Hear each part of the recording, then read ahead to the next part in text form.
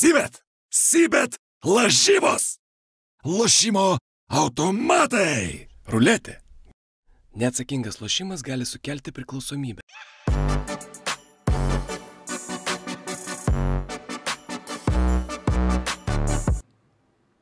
Sveiki draugai, pick and rollas vėl jūsų ausinėse ir ekranuose.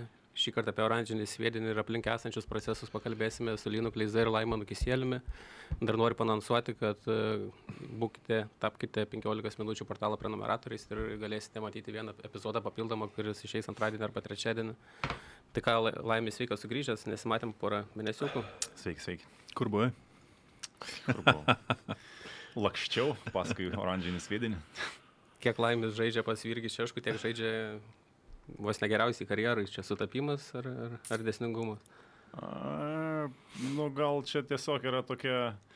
Vis tiek, kiek- kiekviena komanda ateina turi savo rolę. Tai tiesiog, jeigu rolė yra aukštesnė, tu gauni tų pačių metimų išsimeti daugiau, tu pačio laiko gauni žaidybinio, o žaidas, žaisdamas kitose komandose, tai tiesiog tavo rolė gal yra kitokia, kur kitko iš tavęs prašo, reikalauja ir, ir, ir taip, taip, taip sutampa, kad toj sistemoje, sakykime, pasvirgi ir gauna daugiau žaisti ir gauna daugiau kamulio rankose matyti. Po 10,6 taško, beveik 4 reboundus, 2 asistus, 37 sueis sausį, aš galvoju, kad turėtum būti patenkintas tą ir asmeninę, ir komandinę situaciją. Ir Jono- Jonavai neblogai sekasi ir pats gauni žaisti ir žaidži Nu, neblogai. Vis tiek dienos gale žiūri, kaip komandai sekasi. Čia, žinai, būtume, būtume paskutiniai vietoje, kaip mes sen, tai ta statistika nieko, nieko nereikštų, ten, žinai.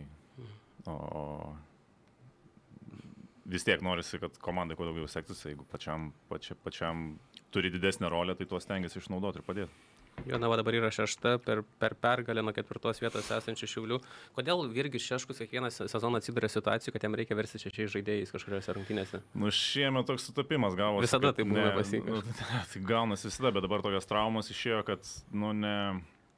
Tai nebuvo nuovargio, nuovargio traumos, kad ten nu, ne, ne, ne, neturėjom dar tiek varžybų, kad žaidėjai išsektų ir, ir iš to pasiekoje atsirastų tos traumos. Tai jos tokios buvo, sakykime, gan, gan atsitiktinės. Tai ten čiurnos pasukimas, raumens plyšimas, nors tuo metu ten buvo žaidėjai fiziškai geriausiose savo turbūt kondicijose. Tai jūs neturėt prieš šitą trijų svarbiausių pas nežaidėjų. Tai neturėjom trijų starto, starto penketo žaidėjų. Rezultatyviausių trijų žaidėjų berots. Nežinau, rezultatyviausių, bet trijų neturėjom pagrindinio žaidėjo, pagrindinio centro ir, sakykime, pagrindinio taškų rinkėjo. Tai nepadėjo. Bet gerai sukovojot. Aš žiūrėjau tas rungtynės, pirmas kelinys baigėsi rezultatu 8-24, aš pagalvojau, kad jūs čia susitarę pagerbti Kobe Bryantą esat, Jo.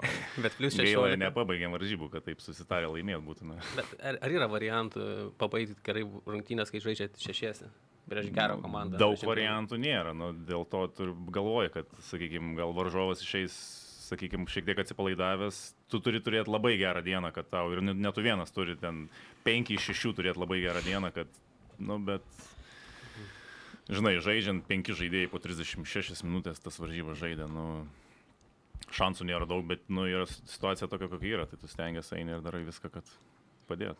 O tu linai žiūrėjai, kaip laimis į- įkratė keturis trajekus ir ryto krepšį, surinko 15 taškų šį šeštadienį vykusiose rungtynėse.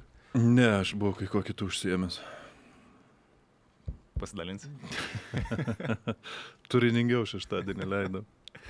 Ir Vilniaus rytas kaip tik šį trečiadienį žais prieš Stambulą Bešiktaš čempionų lygoje ketvirto turo rungtynėse namuose. Labai svarbus mačas. Linai, kaip manai, čiups pergalę. Manau, kad turėtų. Manau, iš viso šiaip laukia įdomi savaitė visa. Uh, Pradėkime nuo ryto, gal pradžio dar žalgį ir pasieksim. ta, o ką čia pradėti, nu, ta, ta prasme, rytas, nu, jei, jei biški jungs tos galvos, ką, ką, ką, ką, ką jie gali, o nežais pagal bešiktašų tempus ir neleis pasikartoti tokiom begalviškom varžybom, kurios buvo prieš tai, tai rytas turi visus šansus. Bešiktašas nėra gera komanda, turi individualių žaidėjų, bet ne, ne, neturi, nežaidžia kažko ypatingo, nėra labai, ta prasme, e, protingai žaidžianti komanda. Tai rytas namie turi visus šansus ramiai susitvarkyti, bet, ta prasme, sakau, reikia primest savo tą žaidimo stilių kažkiek, o ne, ne, ne, nepasiduoti tą, tą jų, ka, kas buvo tenai ir po to vis tiek dar turėjo šansą laimėti, bet tas ant tiek blogai sukontrolio, sukontroliuoto galo varžybų, senai esu matęs, kas buvo Turkijoje, tai manau, kad jei nelaimės šitų varžybų, tada, tada jau rimti, rimti signalai eina trenerių štabui rytų. Tada pavėsinais ir pergalę prie žalgerį. Ką? Pe- pe- Pergalė prie žalgerį nebe tokia svarbi bus.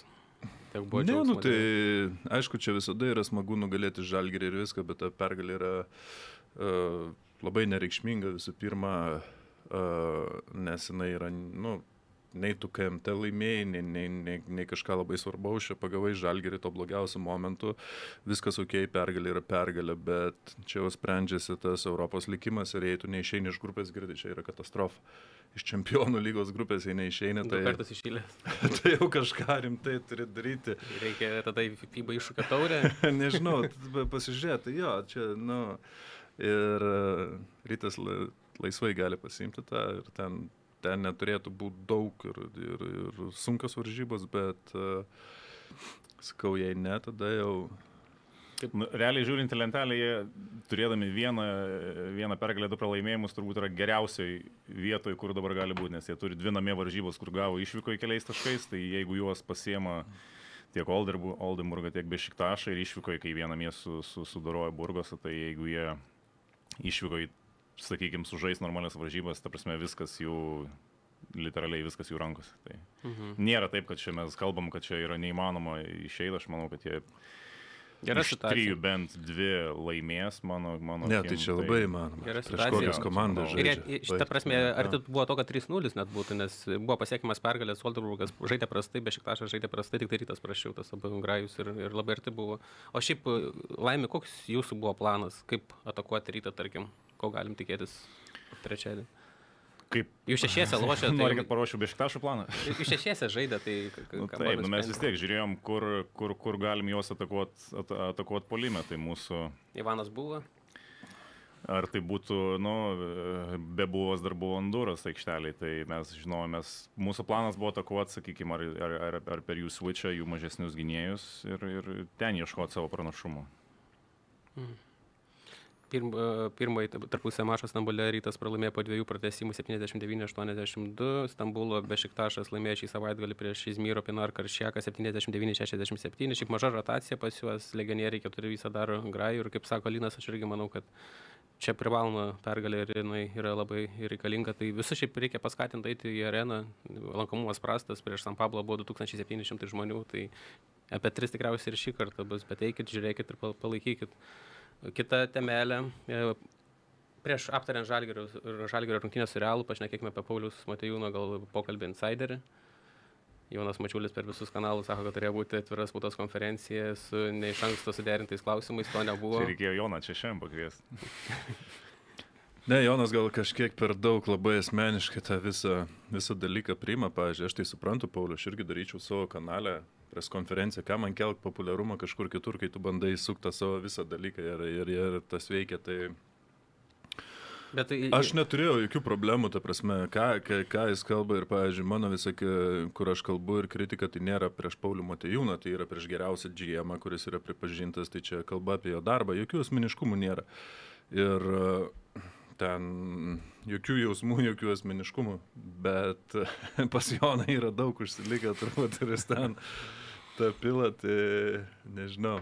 Bet, bet... Linai, jeigu dažnai pabrėžia savo patogiose situacijose Paulius, kad Žalgeris yra Lietuvos komanda, reikia Lietuvos komandą remti, reikia pinigų ir taip toliau, bet Lietuvos komanda yra ir kai yra jai sunku ir žmonės nusipelno žinoti atsakymus į klausimus, ne, Ne, vien tai tuos, gerai, bet tai- išrenka Žalgerio klubas. Bet, bet tai ta prasme, kokiu, ko- kokių tu klausimus nesužinojai. Man tai kai kas kita užstrigo. Visų pirma, uh, jis ir susiderinęs klausimus, yra ten viskas ok, čia, tu prasme, daug kas, daug kas tai tą daro, bet tu ne į temą realiai.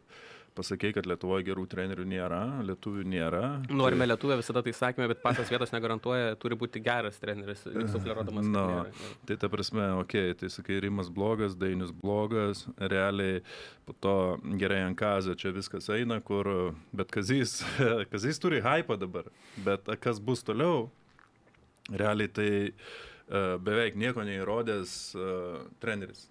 Ne, vyrų krepšiniai yra, aš tikrai nieko prieš Kazį neturiu ir jis turės visus šansus įrodyti, bet tai yra Rusijos vidurio dugno komandos treneris pakol kas. Nu, taip yra. Ir tu kalbėjai, kad čia, žinai, yra pats tas tinkamiausias žalgerio variantas, tai irgi klaustukas yra, bet esmė, po to tu pasirenki ryto žaidėjus įžydį.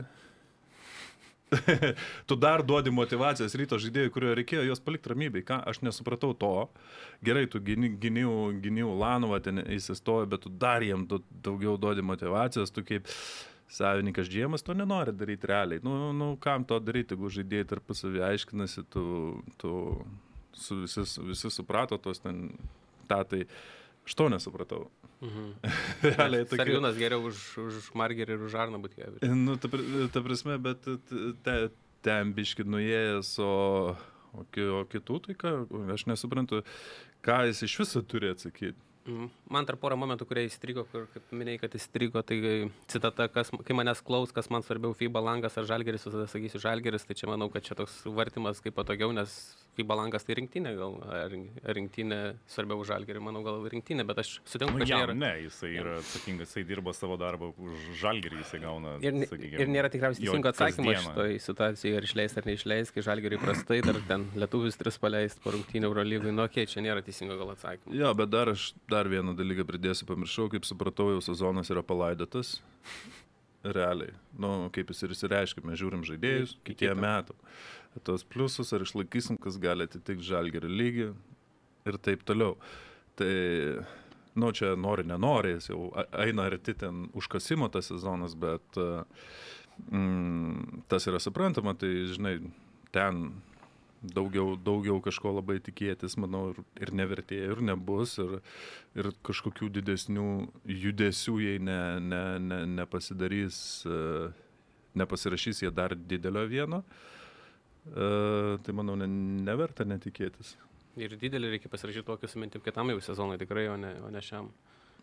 O ne?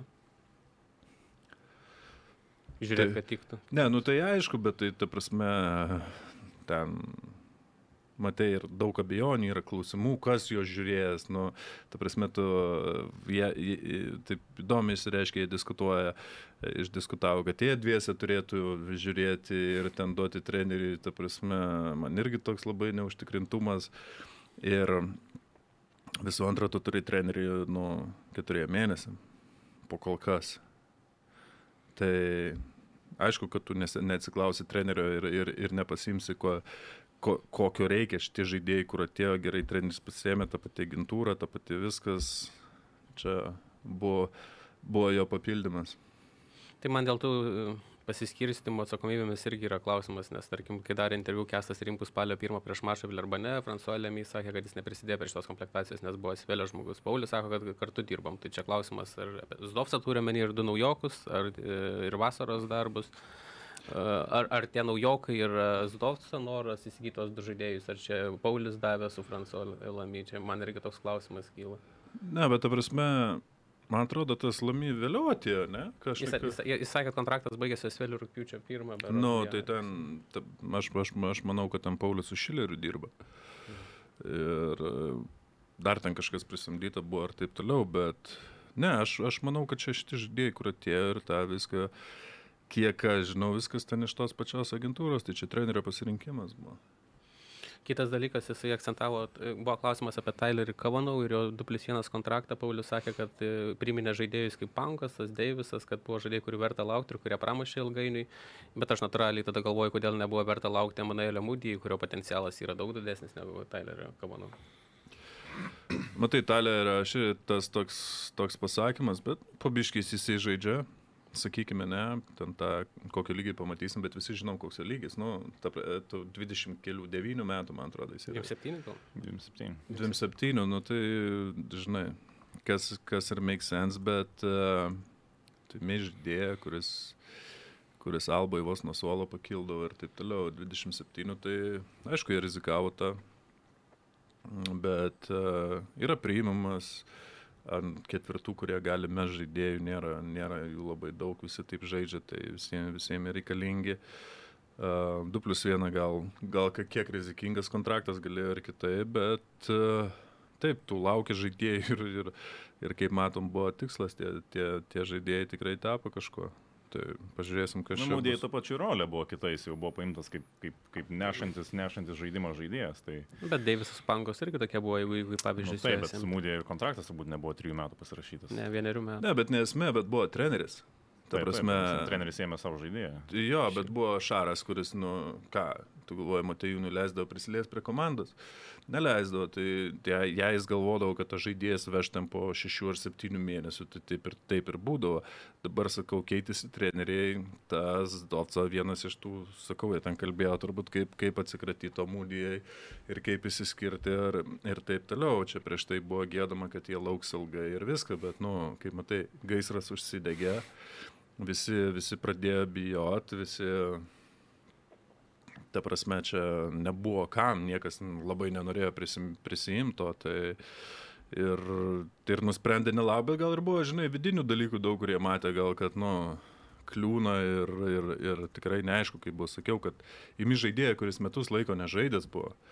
Ir turi psichologinių problemų. Ir, prasme, ir labai keistai atrodė, kad jau iš karto buvo pasakyta, man atrodo, jis pats ir pasakė, kad, nu, agentūra paprašė, kad čia, žinai, e, tos pokalbis buvo, kad čia Duotų ne, laiko nesuvers visko, jo, lauksim keturis mėnesius, ta prasme, ir kas atsitiko, viską iš karto suvertė ir, ir po to, žinai, sako, tu turėjai būti pagrindinis, įskiriam ir taip toliau, nu tai, žinai, čia, čia, čia tokie dalykai, kur... Aš, aš dariau interviu su Mūdyje prieš sezoną, tai sakė, atvyko tik have fun.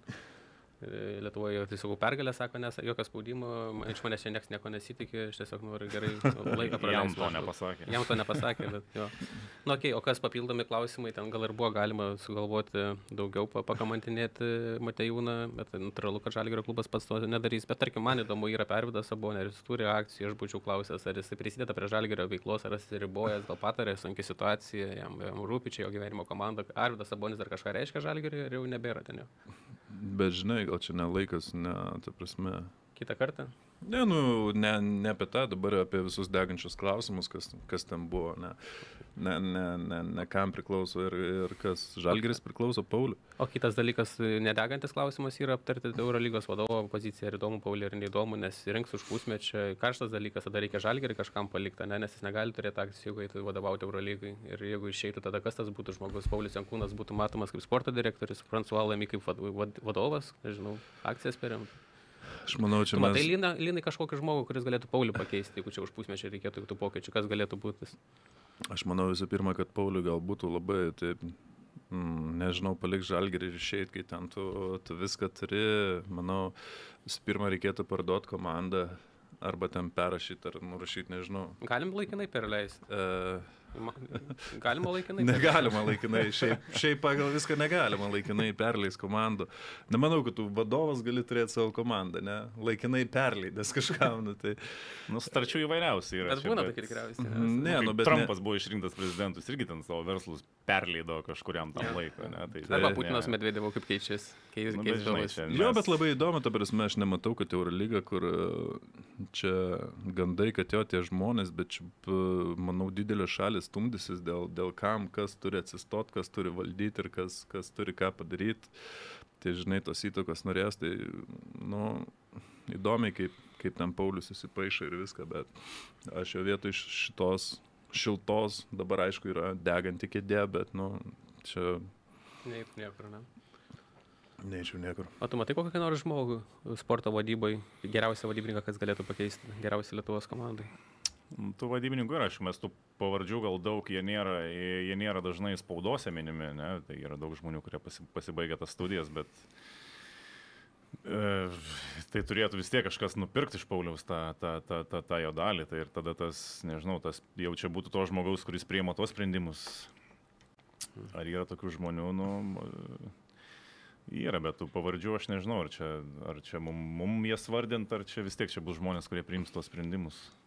Sporto vadovo gal galėtų būti Martinas Purlys žalgerį, nemanot, kad jisai toks šiek tiek nuvertintas yra, nes Lietkabelis eilę metų gerus rezultatus rodo, ryte irgi būdavo visai neblogai, tas gal tik tai Gėdų Bainausko šleifas, ką žinai, ar, ar, ar, ar neturi reikšmės Kaune, galbūt jis matomas kaip raudonas, kur niekada neįleisi už žalę tą stovyklą.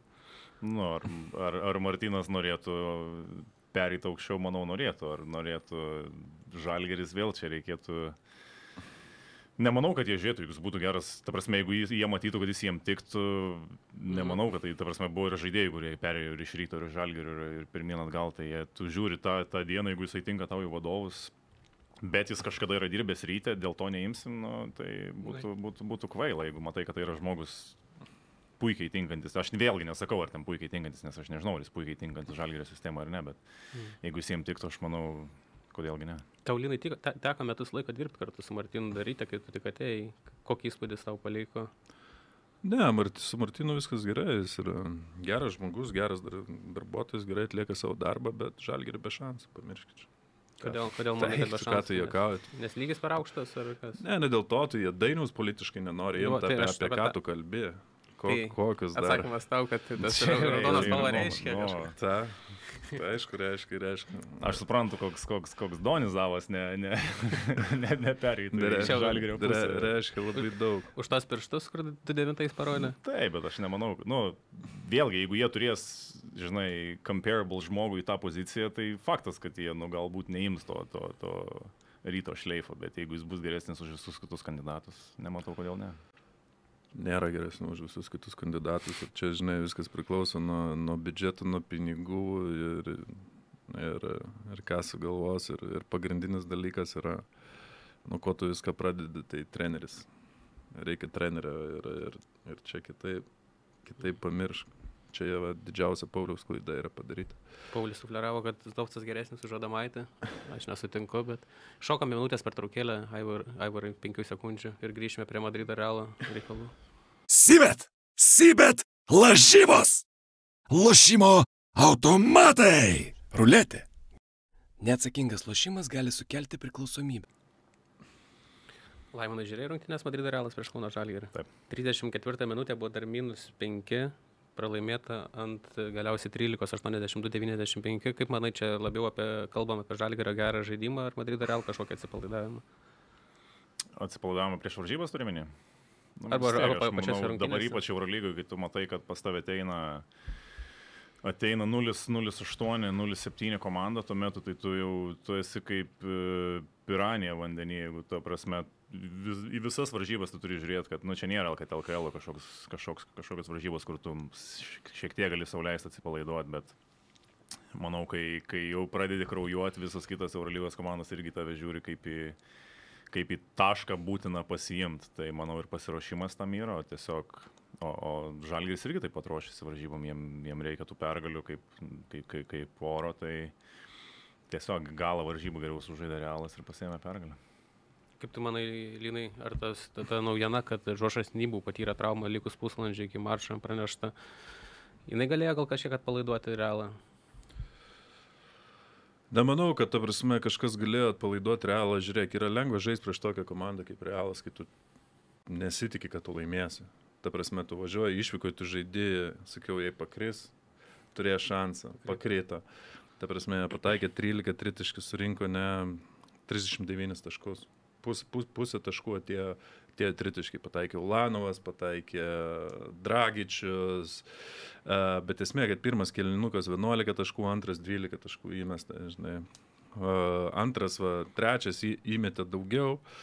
Taip, pozityvių dalykų yra, bet, ta prasme, žiūrint toliau, viskas atsistoja ant, šit, ant, ant šitos savaitės. Realiai ant šitos savaitės. E, Nes tu prieš tokią komandą kaip Realas, tu negali vertinti. E, Žinai, Realas tikrai nežaidė savo geriausių varžybų, bet įmetė 95 taškus. Tai tu, žinai, kalbė apie gynybą, kalbė apie fiziškumą, bet, e, nu, iki to dar, dar yra labai toli. Tai, žinai, taip, gali sakyti, jie pataikė sunkių metimų, bet ir Žalgeris pataikė metimų, kurių neturėjo, ne, ne, neturėjo būti pataikyta ten. E, Realas padarė ganėtinai tokių, nu, klaidų ir gynybų, ir ten Žalgeris su savo tuo greičiu ir ten trim rollais ten ir, ir, ir bet pataikė tritaškius. Tai, o Džek, viskas atsistoja, čia tokios nieks nieko nesitikėjo, dabar viską gerai sužaidėm. Nu, 95 taškai, taip, 82 taškus įmetėjai, žinai. Ir tas jau pamiršt. Dabar ateina, kur tu turi laimėti. Ir ateina, kur spaudimas ateina. Ne, atvažiuoja komanda tavo lygio realiai. Panatinaikasas. Uh, man atrodo, rytoj su Panatinaikos, ne, ir po to su Fenerbahce. Fener, jo. Taip. Nu, tai, ta prasme, tu turi abi pasimti namie varžybas. Ir at... Pradėkime nuo vienos linai. Ne, bet tu turi, ta prasme, apie ką tu kalbė, nu, tai tu turi, jei jie netyčia eina 0-2, aš Daltą iš karto atleidžiu. Opa. Ne, nu tai ką man reikia, tu važiuoji man Eurolygoje, tu 0-9, paeinam, mes kalbam apie kažkokį geresnį, geresnį žaidimą ar, ar kažką. Tai Nu, taip, atvažiuoja čia komandos, būtų, salignai Čia silpnas. būtų, galim sakyt. čia, čia, čia būtų mano sprendimas. Aišku, ten jie O jeigu vienas vienas, Ja, tai stipriai pagalvočiau apie tai. Bet e, esmė, kad, nu, jie turi laimėti. Jie turi visus šansus, tu, tu, tu turi viską, atvažiuoja dabar, nu, Panatinaikosas, aišku, jie turi individualių žaidėjų, bet irgi yra uh, komanda nežaidžianti gerai, než, ne, nežaidžia to gero krepšinio, bet nebus lengvos varžybos. Nei tos, nei, nei, nei atvažiuoja Feneris po, po prieš tai ten vienų blogiausių savo varžybų. nu, bet favoritai tai varžovai yra ir tam ir tam čia bus nežalgeris favoritas. Aš manau, kad Žalgeris favoritas prieš Panatinaikus, bet man, mano akis, aišku, jie ten tas jie 0-9, bet namie žaidžia. Ir dar spaudimas, aišku, tai va tas, o dabar, kai reikės pataikyti tuos visus tritiškus, kai realiai tikisi iš tavęs, kad tu juos pataikysi ir, ir tas spaudimas atsiranda, Fenerbahčia yra gera komanda. Fenerbahčia yra gera komanda, kur, kur turi ir pakankamai tų, tų įdomių žaidėjų ir, ta prasme, turi playmakerių, Veselis žaidžia aukštam lygiai, dabar, aišku, tas uh, Henry, kaip ir galvojau, kad bus, bus labai ne kažką, pakol kas jam jis uh, su juo kaip pagrindiniu žaidėju jis neduoda to, ko turbūt jie, jie, jie, jie tikėjosi iš jo, bet turėjo gerą pergalę Rusijoje ir Milanas paprasčiausiai neturėjo šansų prieš Milaną, sužaidė savo vienas blogiausių varžybų, tie, tie, tie, tie tikrai Milano solidžiai labai atrodo. Tai tik vienas mačas ir yra, kur, kur tikrai pralaimėjo Feneris, nes kiti penki buvo tenai vieno, keturių taškų skirtumų, jie labai glaudžiai. Ne, sakau, Feneris, e, Žalgeris tikrai nėra favoritas prieš Fenerį, čia, čia to nereikia, bet e, šansų laimėti tikrai yra ir, ir, ir, ir nemažai, ir plus tu namie žaidži. Ir, ir ta prasme, atėjo laikas įrodyti, jei kalbėjo apie tą gynybą, fiziškumą ir, ir taip toliau. Tai sakau, prieš, prieš Madridą jie pataikė. Prieš Madridą toliau. labai Lukas veikia, ne? Čia gal daugiausiai pagirų Lukas nusipelnė prieš Madridą realą. Dešimt asistų labai gerai, du prieš du atakavo o, lietus ir aukštus varžovų centrus. Ir tai buvo čia visa gal esmė nu, ir pakryto metimui. Apskritai Lukas yra septintas visoje Eurolygoje pagal asistus iš pick and roll situacijų, kas yra nu, labai gera, geras rodiklis. Ne, ne, yra geras rodiklis ir veikia, tik tai aš laukiu, kol, kol tie, žinai, kitos komandos prisitaikys biški daugiau ir, ir, ir ten, aišku, žalgeris ir daro kurios dalykus, kad duotas pick and rollus ant tos kairės rankos ir, ir, ir taip toliau eit, bet, žinai, pamatėm, kaip olimpijakosas išėmė Luką iš žaidimo.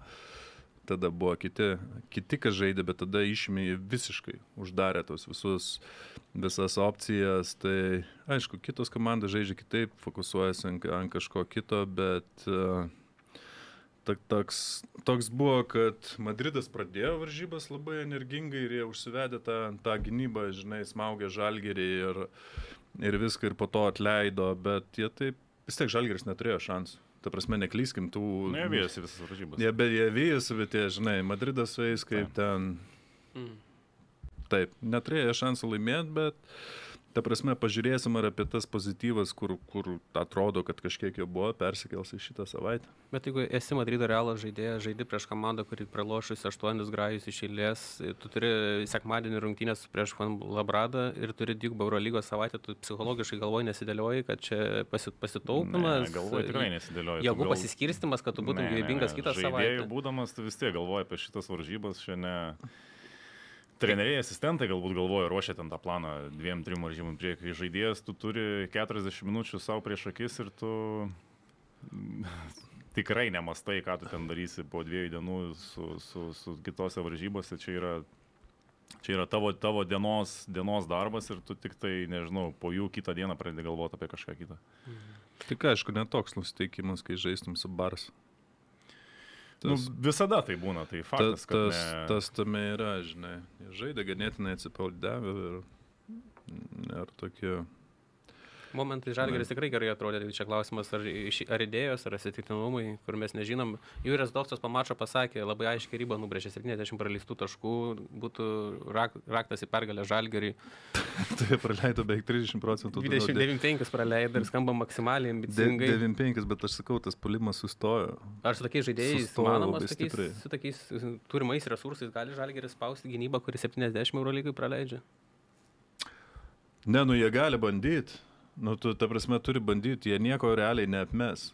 Nu, yra komandų, kurie gal pame, apmes, pakris ir taip toliau, žinai. Matome, ką, ką Cervena išdarinėja realiai. Bet pas juos fiziškumas, ten yra viskas ant fiziškumo pastatyta ir ant, ant tokio kito lygio fiziškumas. Ir Ir realiai. plus, žinai, tikėtis 70 praleistų žaidė realiai su, su, su vienu, vienu, vienu centru. Ir, žinai, tam pačiam Marikui, nu, nėra, ne, ne, jis nėra Roberto Jeftoko gynybos specialisto, žinai, sakykime, kartelė. Jo, bet jie Tai- neturi fiziškų žaidėjų daug, nu kas. Tai faktas, ta prasme, Kavanau, Gefajus, uh, Marekas, tu Jie išėjai. iškeitė, nu, ne, ne, neiškeitė, sakykime, nu, pažiūrėkime, su praeitais metais jie turėjo, turėjo šunis gynyboje. Tai jeigu koksai Vokapas yra tas pats Grigonis, jeigu jisai nori gintis, tas pats Heisas. Heisas, kur gali keistis su, su keturiom, penkiom pozicijom, tai Ne, bet šitas tikslas jau nubrėžtas ne dabartiniai sudėčiai, o tikriausiai long term, kad kai visi bus sveiki. Ja, tai man klausimas, ar tie visi veiki gali išspausti tokią gynybą. Nybų, Lavernas va grįž. čia tas pats, kas nereikia praleisti 70 taškų, tai čia, žinai, gali sakyti, mūsų tikslas yra įmesti vienu daugiau. Tai, nu, tai skamba retoriškai iki tol, kol tu pradedi savo, sakykime, savo sistemas įsivedinėti, ir, nu, bet prie tavo sistemų tu turi turėti žaidėjus, su kuriais tu tą darysi. Marekas gal dar vertas e, pa- pastebėjimų kelių, nes prieš mėnesį buvo žaidėjas užmarinuotas ant suolo prie Martino Šilerio, po to tapo rotacijos žaidėjų, dabar Madrydė Nu, prieš mėnesį dar du žaidėjai, prieš jį buvo rotacija. Tai... Jo, dabar pagrindinis jų dar polėjas ir vis tiek klausimas, kaip jam sekasi pasinaudoti to šansu, kurį, kurį gavo. Nukrito iš dangaus jisai, bet vis tiek šansas. Ne, tai tokiais šansais, ypač jo pozicijoje reikia naudotis ir Kaip tau jo žaidimas Madrydė? Man gerai, jisai davė tą, jisai duoda tą tokią jaunatvišką energiją, ten e, svarbiausia, iš, iš, kad ne, ne, nesislėpia, sakykime, to, to ar, ar, ar šešėlį, ar ten vis tiek rodo ir energiją, rodo ir, ir užsidėgymą, to iš jauno žaidėjo čia, čia tik tai to reikalauja, kad, kad nedarytų žioplų, žioplų klaidų ir duotų, duotų visą tą energiją.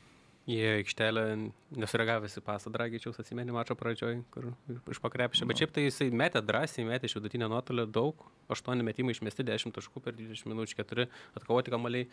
Teigiamai reikėtų įvertinti tokį pasirodymą Mareko. Linai. Ne, tai teigiamai aišku, ta prasme, va tas ir yra, žiūrėk, kaip sakiau, krepšinėje viskas labai greitai eina. Atrodo, tu neturi šansą, tu pasadintas ant solelio, traumas, traumas, nu, Marikas pagrindinis startuoja. Tai, nu, ta prasme, žingsnis po žingsnio, jis, jis nebus tas žaidėjas, kuris tavo ateis uždominuos, bet jis, jis daro, jis tengiasi, jis, ta prasme, po biški, po biški eina stipriai į priekį ir tikėkime, ne, nepalūš po to plakato. Kur, kur, Sezono dėjimas, ko gero, ten. kur buvo, žinai, ta. Jeigu išsimetė, išsimetė, kamuolį bėgi. į Čaržų tokių girdi, tokių. Bet, bet reikia bent pašokti viršų, ne? Kad su- su- Ne, bet matai, Kontestinti metimą. Didžiausia, dabar, didžiausia problema ir yra gynyba šiuo metu. Ir, ir jaunam žaidėjai čia tas, ta, ta, tas dažnai ir būna. Ir, ir kai tu susiduri su, su daug uh, gerų centrų ir fiz, fiziškesnių ir, ir ta prasme, tai statai tuos rollus pastovi, tai matom, kad uh, kur, kur daro pakankamai daug klaidų. Linai, yra per tave kas nors pastaraizą padarė per visą karjerą? Įsimetiniausias dėjimas yra koks nors Ne, įsirėžęs į galvą? ne. Nebuvo MBA, kad kas nors... Ne. Ar tu nenori prisiminti iš Nežinau, ne, ne, ne, aš neprisimenu, ne, ne, Ar bauda įdavo iš karto. ką, ne, ką tu durnas, aš čiūkių čaržų neimdavau. ne. Ar tu laimė? Nė- Nėra įsiminę? Krepšininkai ištrina iš galvos pastaraizus. per Ne, tai kur čia eisi dabar reklamuosi, kaip, žinai, kaip vaisas, kur, žinai, žmogus karjerą paskui pasibaigė po, po, po karterio. Okay. Ne, nu tokių tu arba, arba tu matai, kad tu, sakykime, kad tu galvoji anksčiau priimsi tą žaidėją, arba tu tada jau traukės iš kelio, čia nėra tokio, kad... Ne, bet pas mus būdavo tokie, kur bandydavo tos čaržus imti viską, tai visi sakydavo, tai pisk iš kelio, taip, ta prasme. Ne, realiai, ir, ir treneriai viską daugiau nestotų. Tada tą, tą labai, labai stipriai prie... Ir tikrai tu žinai, prieš kuriuos gali stoti žaidėjas ir prieš kuriuos ne. Ką tu prieš kartą rimtum čardžą? Nu, jo. Linai, žinai, prieš ką Žalgeris paskutinį kartą laimėjo Eurolygui? Sakai, prieš Panatinaikus? Aha. Matai. Prieš 200 222 dienas. Paskutinį e, praeito sezono Grajus buvo, kurį laimėjo. Lukas įmetė tą 20 taškų. Tai gal atsidarys Žalgeris prieš tą komandą, prieš kurią užsidarė paskutinį sezoną. Atsidarys, atsidarys, tikrai Bet tu, tai, atsidarys. tu, tu toks tikras esi, turėdamas omeny, kad ir Nybau gali nebūti, nes mes nežinom, ar Nybau žais, nežais. Jeigu Marekas pagrindinis centras, vėl Kabano vyro antras vidurio palėjas, jos tik rotuoja vidurio palėjai pozicijai, užtenka ir tiek. Žiūrėk, aš manau, turėtų užtekti. Aš, ir, ta prasme, nu, atėjo laikas, nu, atėjo laikas laimėti. Himki taip pat galvoja pernai. Ką? Nu, Himke turėjo daug problemų, bet matai, Žalgeris turi, ta prasme, žaidėjų, nu, kurie, ta prasme, tu, jie, jie, jie, jie, aš tikiu, jie tikrai nori laimėti, jos, jos tą žudo, jie, jie pastatys viską, tą, paliks to aikštelį ir, ir ideali namie prieš tokią komandą, kur, nu, yra ganėtinai individuali paremta, paremta komanda, mačiau, dar Nedovičius nežais. Jie Žalgiris. pagal asistų 17 euro lygų po 12,9. Ten Nu. stringa kamuolys labai stipriai. Stringa kamuolys labai stipriai, turi vieną minkščiausių centrų, žinai, kur gali ten. Papajanis. Papajanės. Um, Bet jie turi gynybai daugiau resursų negu Žalgeris. Centrosas, Evansas, Kloidas, Papa Petro, Karo Vaitas, jie gerai besiginantis žaidėjai, palymė prastoką situaciją. Atrodo, kad metantis labai gerai yra tik tai Darylas Meikonas, kur 9 įsegė prieš Anadolų. Jis kem 45 procentų. Jo, bet klausimas, ar jie nori gintis. Ta prasme, žinai, kai tu turi daug in, in, individualaus žaidimo komandoje ir tas kamuolys pastoja stringa, tai žinai, yra daug ir daug ir pikčių, ką aš eisiu ten, žinai, ar su gynybai, tu ten polime mėtysi vieną, žinai, nu tai taip, tas atvažiavęs ten tada įkalė kiek 30 kažkiek ar 40. Kas toksai? Naujokas. Naujokas, kaip jau. Padint Naikose? Jo, jo, Panatinaikos, tai man atrodo, ten pirmas varžybas buvo. Ar, ar, Daryl Meikontas? Jo, jo, jo. Ne pirmas, bet jo. Įmetė 9 tritaškius. Devynis tritaškis įkalė, ar ką. Jis yra pirmas Eurolygoje pagal taškus e, tranzicijoje, mesdamas beveik po du per vieną išpolį, nes jisai yra toks žaidėjas, kuris penktą atako sekundę trajekus, svaido ir pataiko jas gerai, tai labai į kosminę e, aukštą tą rodiklį iškėlė. Ne, nu tai jie turėjo, man visada Nedovičius nepatiko, nes galvoja, kad jis yra, žinai, Steph Karis.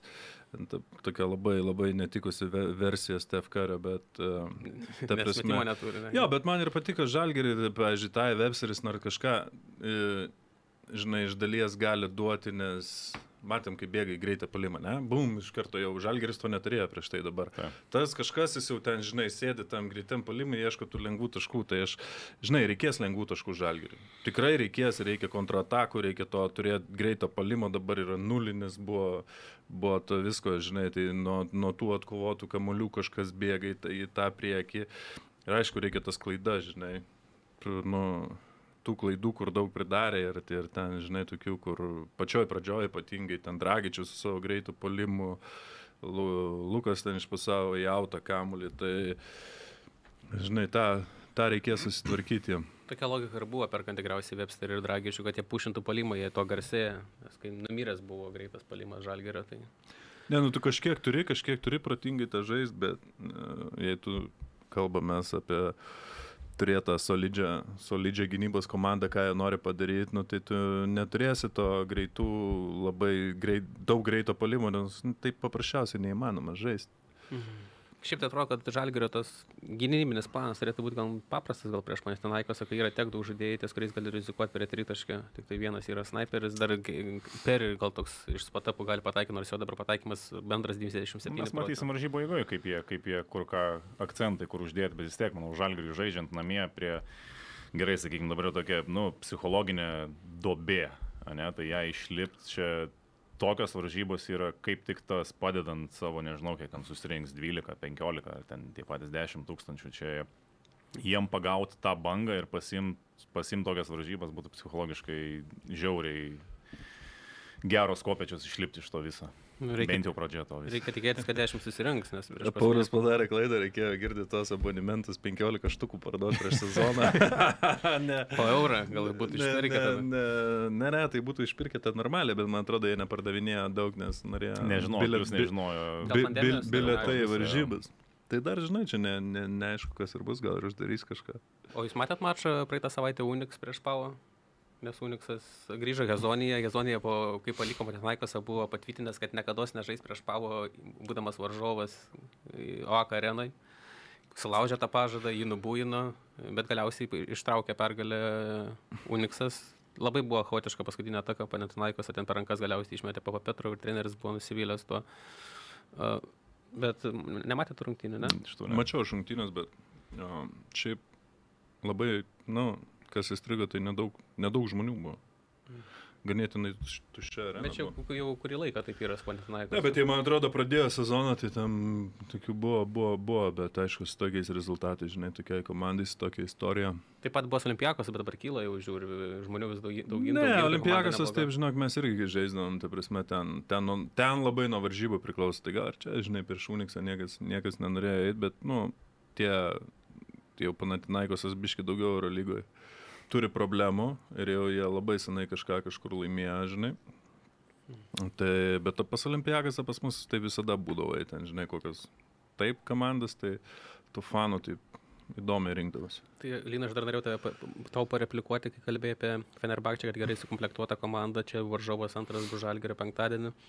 Ir ne... Aš nesakiau, kad labai gerai sukomplektuota komanda, sakiau, kad turi, turi, turi, turi, turi tikrai žaidėjų. Nes šiaip tu pasižiūri startinį penketą Pierre Henry, Šajokas, Guduričius, Bukeris ir Veselis. Metantis vienas žaidėjas, ne Guduričius, aukštai iš vis nemeta, Šajokas nemeta, Henry toks up and down metikas. Nėra, kad labai irgi, nu, pakankamai paprasta prieš juos gintis. Dekolai išeina, aišku, tas du prieš du su Veseliu toksai žudantis tampa. Uh, iš dalies taip, bet dabar Veselis, tai pažiūrės, jis, jis, jis, jis patobulėjęs, dabar gali sakyti, ir kai kartais išmeta. Tu... Ketvirtų leidžia į metais šių Ta prasme. Bet rizikuoja visi prieš jį. Šiaip, jam tada. Ta, jo, tas, ta, tas ir matosi, dėl to gal, žinai, ir Henry turi problemų ganėtinai nemažai ir, ir kad ta aikštelė tokia žymiai uždaresnė yra, ten nei Baskonėje būdavo, kur, kur vien, vien metikais apsistatęs ir visi, visi svaidydavo Baskonėje beveik, žinai, tai tas, tas iš dalies taip, bet, žinai, žaidėjų tikrai yra. Dekolo, tas pas Guduričius fantastiškai prieš Taską sužaidė. E, realiai Veselis irgi tą patį, Bukeris tikrai gali, ta prasme, talento turi, vardų turi. Gal Bukerį reikėtų penktų leisti, ne ketvirtų, nemanai, kad būtų geriau Feneriui? Manau, kad būtų geriau. Bet, sakau, man ten irgi pažiūrėkit geriausias GM'as. Ne. Mauricijų. Ne, aš Mauricijų senai pažįstu, aš su Mauricijų, taigi Toronte buvęs ir, ir taip, ir, ir, ir mes turim gerus santykius ir taip toliau, bet ką reiškia Želko Bradovičius, ir kur pergalės ir kur pergalės pasibaigė, žinai, tai gali suprasti abu tos klubus, kai išeina tokie du treneriai, kur aplink kuriuos viskas buvo pasakyta, tu niekada nerasi tikriausiai rinkai ko pakeisti lygiai verčių, reikia kažkokios rizikos, ne? Taip pat buvo po Želko, ką tu jiems šaro, jeigu nepaėmė. Tai jau... Ne, tai gerai, bet ten buvo lygiai tokia pati klaida padaryta, tu paėmė. Bet labai, aš turiu menį, labai lengva suklysti tokiam dalykui. Nu, bet tai tu esi geriausias, tai žinai, čia irgi lengvas, mes neįmam Panatinaikoso realiai, nes Panatinaikoso ten nuturgalvis valdė tą Panatinaikoso ten, ten, ten žinai, nu, taip, taip. E, ir išėjo dėl to, ir ten, žinai, žmogus su, su, su žinai. O kaip tau Džordžiavičiaus pasamdymas? Geras veikimas iš klubo pusės. Ne, Nežinau, tai parodo, tai, tai prasme, Džordžas eina per tas komandas. Ir, ir jis visur susipyksta su kažkuo. ir, ir daug, bet, e, žiūrėk, nėra, ta, ta, ta prasme, Fenerbachė, kaip ir sakė, jie gerai žaidžia, daug pralaimėjo paskutiniam sekundėm, žinai, ir per, per prieš Barsą, grinai, tas Mirotičiaus paskutinis metimas, žinai, kiek, kiek, kiek laimingas ir, ir taip toliau. Tai, žinai, čia sakau, sezonas tik prasidėjo, viską, viską parodys toliau, bet uh, šitas yra žymiai logiškesnis samdymas, nei buvo samdytas Kažkovas po 20 metų MBA aplinkoje. Kažko... Jo, nu tai žinai, laimėjo Europos čempionatą su Luka Dončičium ir, ir, ir Dragičium. Realiai. Kontraktai pasipylė tada, ne, ir pinigai. Ką? Ne, nu tai ir MBA ir viską ir tie ir pamatė, nu, ganėtinai sudėtinga būti pagrindiniu treneriu ir Phoenix'e nepaėjo. Iškart atleido čia irgi, žinai, sakėm, nu. Reikėjo Dončičių draftinti ir būtų paėję ir Phoenix'e, kaip jie ten sugalvoja pasimti, ką, Eitoną pasėmė. Eitoną pasėmė, reikėjo draftinti, bet, žinai. Bet esmė yra ta, kad va ten buvo padaryta didesnė klaida. Tai žipsnelis dar statistikos apie Fenerį. Feneris pagal Trajakų 17, 34 procentai, e, pagal gynybos reitingą ketvirti, 101 praleidžia tašką, kablelis 8 ir pagal asistus yra antri po 18 asistų. Šiaip laimitu, man, manai, kad laimės Žalgeris prieš Fenerį. Manau, kad bus labai sunkios varžybos. Bet, ar, nu, ta prasme, namie žaidžiant, manau, turi visų, visų šansus tą, kada, jeigu ne dabar, ne, tai manau, jie tam ruošis, o kai bus pamatysim, čia, aišku, sunku labai pasakyti, čia jie nežaidžia prieš, ne prieš Jonavą žaidžia. O, o sutinkis Lino pasakymu, kad jeigu du pralaimėjimai rei- reikia keisti trenerių? Nu, aš manau, čia Paulius pats, pats spręs ar keis, nu vėl tada šokiant, ką, kam tada duodi tą, tą, tą darbą, duodi asistentui palieki tada, kad sezoną užbaigti. Visiškai aukoji, ar... Arba dainiai paskambina. Arba tai, Rymui, arba Kestučiui. Bet tai vėl, ar jie norės eiti tik čia- užbaiginėti sezoną? Tu norėtum eiti užbaiginėti tik tai sezoną, Aš kada tai komanda yra Aš 0-12. tai pusantro tūkstančio skirčių po 20 Ne, tai tada tu nu, eini su ta ilgalaikė, ilga, ilgesnė vizija, tai niekas neįsta. Na, nu, aš nežinau, kaip, kaip Paulius dabar žiūri į Zdovsą, jisai žiūri jį vėlgi ir kaip tą 3-4 metų kažkokią viziją, ką jam duot. Sako taip, bet prieš tai irgi buvo sakyta, kad ir Šileriui duota 3 metai sukurt tritaškių mašiną. Robinis buvo podcast'e penk- ketvirtadienį ar penktadienį praeitą. Jis irgi sakė, kad natūraliai tikrai ta riba yra pas Paulį kantrybės, kalbant apie trenerių ir apie pralaimėjimus. Ir vis tiek, jeigu mes e, prezimuotume, kad Žalgiris pralaimė be šios savaitės rungtynės ir yra 0-11, ir tada jie turi Barsą iššūkoj, namie Vitoriją ir Caską namie. Tai namie. Vitorija tada jau tikrai turi. Tai aš, aš irgi labiau linkčiau pritarti Linui, kad čia, nu, ta riba, labai, jeigu nepasiekta, tai labai labai arti jau ant raudonumo nu, tai įkaitusio, ir tai ta prasme, ir tu, ar, žinai, sakau, pamatysim, ar progresas yra realus ar nėra. Bet žinai, nu Pauliaus vietoj, ar tu pradedi mėtytis, kad po šitų dviejų paleidi trenerį, nu tada po šito paleidimo, nu sakykime, tu nori pasirašyti naują trenerį, ne? Nu ką kiti treneriai žiūri. Aha, mėnesis laiko praėjo, man čia neturiu, neturiu iš ko sulibdyti komandos ir, ir, ir paleidinėja. Tai ar man rašyti su žalgeriu, ar kažkur eiti saugesnę kažkokią vietą. Tai, Sakai, kad įvaizdis labai kerta per įvaizdžiai tokie, ne? nu, taip, jeigu tu pakeiti tris trenerius, sakykime, per, per, per vieną sezoną, tai čia irgi toks yra, ar keista ar ne, čia, nu, ne, ne, ne tas klausimas, bet tu turi vienas iš punktų, kuriuo turi atsižvelgti, kaip tavo šiek tiek tas imidžas, ne, sueis, ar, ar tau pavyks paskui prikalbėti trenerius, kurie ateis su savo vizija dirbti, kur tu jiems žadėsi 3-4 metus ir viską, ką jie galės, ką jie galės pasimti žaidėjų, tą turės, bet jeigu jie vienas kitas grajus ir jie supranta, kad jie ant kraštos kėdės sėdi, tai ar jie, jeigu turės du vienodus pasiūlymus, tai į žalgerį, kai yra tokia istorija, kad paleidinėja treneris, tai Ne, bet žinai, jis pasakė, kad negali gero trenerio pasimti. Jis Zdovstą pasimdamas, jis pasakė, kad... Ne, jiems- nu ta prasme, jis pasakė, kad jie negali pirgėti gerą trenerių, su kuo aš visiškai nesutinku, nes... Tai aš šarai milijoną mokėjau. Ne, tai gerai milijoną, bet kiek trenerių ten uždirba tą milijoną, žinai. Aš manau, yra ir tikrai gerų trenerių už pusę milijono. Ir yra, žinai, jie, jie tokių pinigų nemokėjo, šileriui ten šimtą tūkstančių pradžioje ar kažką. Ne, no, faktas, kad sezono vidury turi išsirinkti gerą trenerį, kuris yra be darbo. Tiesiog yra nu, limituotas kiekis tų trenerių. Tai jau jie ėmė, ėmė ką ėmė iš, tos, iš to. Ne, bet ten yra daug saujos. Problemų, yra, žinai, trenerių stafas yra labai ant didelio klaustuko ir, ir, ir kas ten vyksta. Ir... Lynas sakė, tai, tai yra, Robinis sakė, kad e, svarstytų ir greičiausiai bandytų pakeisti trenerių štabo, kurie būtų gal palankesni, patogesni darbui Zdovcui asistentai, nes dabar tai jis gavo tokios, kur ar pasitikė, ar jam tinka, čia yra klaustukai, bet vėl čia papildomas išlaidas būtų keičiant juos, ne? O asistentai gal nebūtų tokios labai labai didelės sakykim, išlaidos kaip vyriausią trenerį pakeisti, bet aš manau, kad ta, jeigu jie matys, kad sezono, jeigu jie jiems Dovsas tinka, aš manau, kito sezono, jeigu jam, jam, jisai sakys, kad jam reikia savo asistento, aš manau, tikrai turės atsižvelgti. Aš jau pritariu tau, tai minčiai, nu, Šaras tikriausiai buvo pagal uždarbį vienas 105 buvo, ne Eurolygoj. Ne, nu tai taip, bet jis gal. dabar Barsai turbūt uždirba ten Pusantro virš- kokių, gal du net. virš milijono, nemanau, kad du uždirba, bet... Buvo pranešimas, kad pusantro. Ne, ta prasme, ne esmė, esmė, kad geriau išleis pusę milijono treneriai, nei geriausiam savo žaidėjai. Tai kai tokiai komandai reikia superinę trenerę realiai, žinai. Ir aš manau vis tiek, ką tri, tri, Trinkerikos gauna, aš tikrai manau, kad Bayernais gauna 6-700. Mhm. Nu, gal ten 8, max, nu, ne, ne, nežinau, ta prasme, ir ten jis persirašė praeitis po, po, po, po praeitų metų, bet nemanau, kad toks Bayernas moka, ką CR1 moka.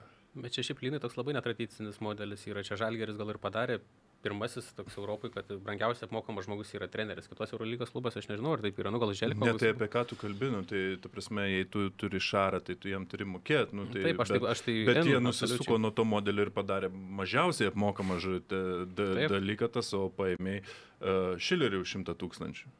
Ten, ne, kažkiek ten kontraktas pasibuvo 100 kažkiek. 108, 2 gal maks. Ten. Ten, ta prasme, antrais metais ten gal va, 200 buvo, žinai, tai... Tausas irgi panašiai tikriausiai. gal. Tai realiai esmė, aš sakau, ar ką tu investuoji savo geriausią žaidėją, kuris turbūt tau, žinai, mažai reikš prie, prie blogo trenerio, ar netinkamo trenerio, kaip matėm.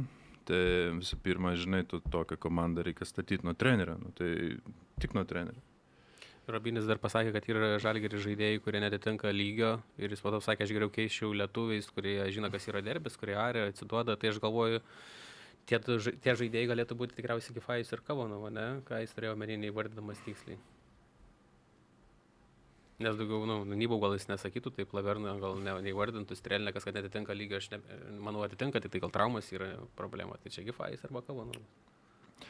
Taip, Strelnikas, aš manau, kad jau Strelniko tą saulę, nu, nus, taip, kaip matom, biškai ir nusileido, taip, ne, ne, gal geresniai komandai mažesnė rolė, jis, jis, jis darytų daugiau to Ryte. naudos. Nu, gal ne tiek saulė nusileido. Čempionų lygai po 18 taškų kokių renkta. Ne, nu tai taip, bet, bet, bet, bet kai tu, žinai, tikiesi iš jo būtų pagrindiniu, žinai, antro numeriu, playmakeriu ir taip toliau, nu tai manau, tas to, čia, čia ne jo kaltė, kad iš jo to tikimasi, jis tau duos. Vienas varžybas gal gerai sužais, kitas vidutiniškai, bet gynyba įdraskė, gynyba įdraskys. Ir paskutinė mintis dar, ką sakė Robinis, kad jam labiau širdies yra, kai yra trys išreikšti lyderiai ir pagal e, atlyginimus ir pagal duodamą naudą aikštelį ir kiti yra jam kaip pagalbiniai. Dabar žalgeri visi yra labai panašaus meistriškumo ir panašaus atlygio, kuris jums arčiau širdies, kuris yra teisingesnis modelis komplektacijos. Tas, kuris veikia. Gali veikti ir taip ir taip, ne? Nu, kol kas taip, taip ir taip neveikia. Ne, nu tai gerai turėjo būti, žinai, žiūrint ir į tą Mūdijai turėjo būti lyderis e, Lavernas, turėjo būti lyderis, kas dar čia pas jos. Čia, čia Nu, esminiai nu, turėjo ir. Strelnikas. Nu, kaip Dėl suprantat. Strelniko dubliavo, ne- gal ne, neplanavo, Ne, nu, kad jis tai- lyderis nu, bus. Kaip neplanavo, nu, jie strėlankai ėmė į Grigonio poziciją, tai tą jie tikėjosi, kad, Na, sakykime, kompensuos tą... Manau, kad tikrai planavo ir, ir manau dar jiem nėra, kad jie... Jis, jis ne viena komanda karjerai nėra rinkęs gal 10 taškų, ne visur po 9. Jo, bet jis žaidė Traumatas Tai atvažiavo, bet bet žaidė komandose, kur jo rolė buvo kita. Bet žaidė CSK. Nu, ir Olimpiakos, ir, ir Bambergė. ir Nu, bet, Budielnikė. bet paskutinis jis buvo. Ir Stasko, tai. Tai žinai, tu kaip ten su tokia maža rolė suprantama, paėmė žalgį ir galvoja, jis jau, žinai, turės karjeros metus atgal. Bet, nu, yra sveikatos problema. Ir pabaigai, šitą podcastą pabaigai, kas gero laimė LKL. E, smagus sezonas. Šiaip įdomus sezonas. Nėra toks, nėra toks sakykime, aišku, turim dvi, dvi e, aukštesnio, sakykime, rytas su žalgerio, ne, bet tie, tie tokie, ta mėsmalė tokia gerai yra įsivirus nuo, nuo, nuo toliau esančių komandų. Matai šansų trečiai tapti komandai daugam? Ar matai aišku favoritai trečią vietą? Prieš sezoną kažkaip mačiau, kad Lietkabelis bus aukščiau visų kitų, bet dabar matosi, kad Utena tikrai gražiai žaidžia. Lietkabelis gal dar pasiskirsto jėgas, nes Europos taurėj Lietkabelis, turi- aš manau, jie, sakykime, matosi į žaidėjų, žaidėjų minutės aikštelėje, ne, kai yra, sakykime, jiem tokios e, pusiau svarbios varžybos, tai jų rotacija yra labai didelė, ne, tai jie leidžia visus 12 vos nežaidėjų žaisti. Leidžia žaidėjim palsėti, kaip matėm su, su, su kedainiais. Nežinau, ar čia ne, ne, kiek, kiek traumas buvo Reliko ir, ir, ir Lipkevičiaus, kurie nežaidė. Bet e, tos dvi komandos, sakykime, iš, iš savo žaidimo kol kas yra trečia, ketvirta, o visus kitos bus labai smagi mėsmalė. Sibetas vis tiek tai kelia tikslą pabūti tą ketvirtuką? Ar, jau- ar jums jau geras pasiekimas ketvirtfinalis ir baigtas? Ne, nu, pradžiai, pradžiai užsi, užsibrėžėm aš aštuntukas, paskui jau žiūrėsim, kaip, kaip, kaip tas, aišku, su šešiais žaidėjais tikslą ketvirtą vis tiek biškai delusional yra, bet grįž, grįž mūsų, mūsų tas trejetukas, tada bandysim viską. Palacijosas. E, Šaulys ir Lekomta. jo, ir dar kažko ieško atrinkui, berots, ar ne? Vis, visko ieškom. O, nežinau, šis Lina gal po podcast'o pakalbinsim, gal norės dar sugrįžti. Kiek linas mes LKL dabar? Jo, paklaus. Po penkis trajekus iš krašto. Kie? O kaip, kas tave labiau la- laimė stebina, ar Šiauliai ketvirtoje vietoje, ar Neptūnas devintas? Mm, šiaip Neptūno iš devinto yra tai, kad jie dar nelošia, Neptūnas nelošia nei berots, nei su Dzukais, nei su Nevėžiu, nei su... Jie ne, ne, ne, Lengvų varžovų neturėjo turėmenį. e, jo, nes jie turėjo du kart, du kart, du kart lietkabelį, turėjo rytą, turėjo žalgerį namuose nuo Šiaulių išsiemę, tai jie nėra pilnai su, su, su, sužaidę to pilno, pilno turo.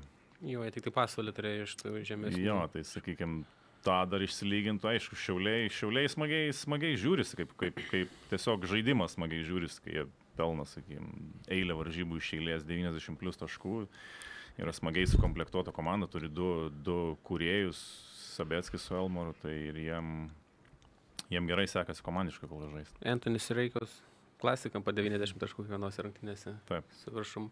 O šiaip kaip profesionalių Lietuvos krepšininkų asociacijos prezidentas, e, nėra problemų su, nėra probleminių klubų LKL, niekur nevėluoja atlyginimai. Mm, Pernai kas- turėjom tokiu metu jau, jau bėdą prienuose. Jo, pernai, pernai anksčiau išaiškėjo tokie, bet šiemet, šiemet kol kas nėra žaidėjų nusiskundimų, kad kažkur kažkas dar vėluotų ar panašiai. Dar prieš Tai- sezoną buvo basketinius portalė apie Neptūno situaciją, kad trūksta trečdalio biudžeto, gal nepradės sezoną. Nu, bet čia gal Neptūno buvo toksai. Straipsnis nesiskundžia. Anksčiau paleistas. Nesiskundžia. Siekia, nori daugiau biudžeto surinkti iš savivaldybės. ir Panašiai.